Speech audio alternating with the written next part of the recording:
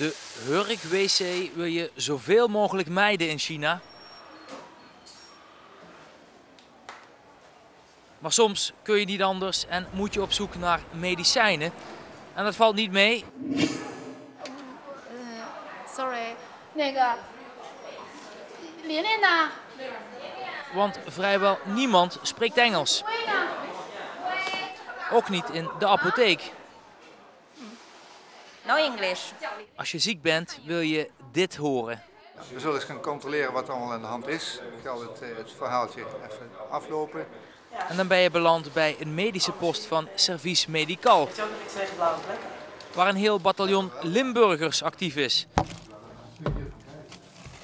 Voor Nederlanders op zoek naar een dokter.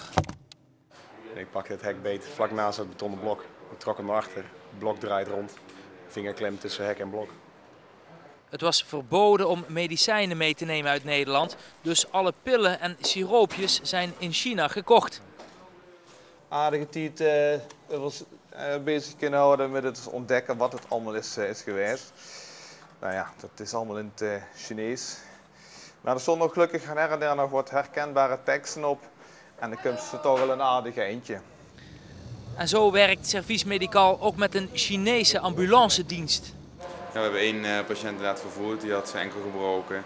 En eh, ja, dat was natuurlijk prima om dat eh, met een ambulance te doen, zeker. Ja. En waar de Limburgers in de communicatie wat Chinees oppikken, zo gaat dat ook andersom. Voor whom klaar?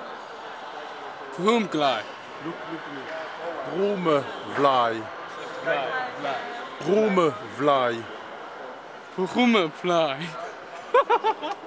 De sympathieke Chinese collega Li Ke heeft de dag van zijn leven als staatssecretaris Jet Bussemaker Service Medical bezoekt.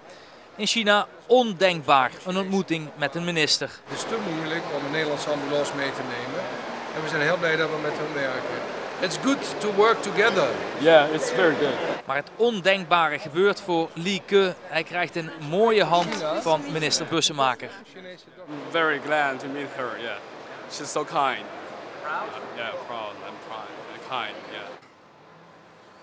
Maar dan weer terug naar de kliniek, want het werk gaat door. Chinese medicijn zorgt voor wat verzachting van je stem. Maar je moet die gewoon zuigen. Ja. Nou, Ben je liever een beetje een eh kerstfan of eh, je liever een beetje... Doe maar een- kers. Misschien zo, een kerst. Oké. Dankjewel. En eh, als ik er dus, eh, dan kan ik af en toe zo'n zakje hier scoren. Ehm, en hou het eventjes in de gaten. Ja. Ja? Alright. Weer een tevreden klant. En zo houden de Limburgers het Holland Heinekenhuis medisch overeind. Tot dusver nog geen calamiteiten gemeld.